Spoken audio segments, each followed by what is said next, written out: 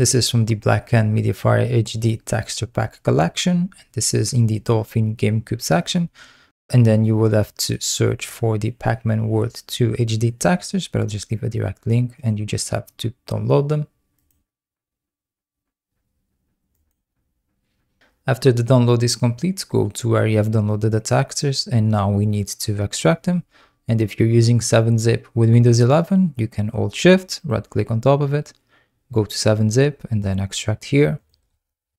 Then go inside of this folder, copy or cut the folder with the game ID.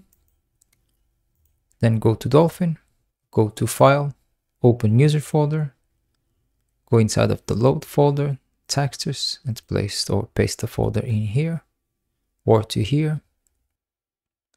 The textures are now installed. Go back to Dolphin, then go to Graphics, go to the Enhancements tab, and here in the internal resolution, change it to a high resolution or you won't see much of a difference in the HD textures.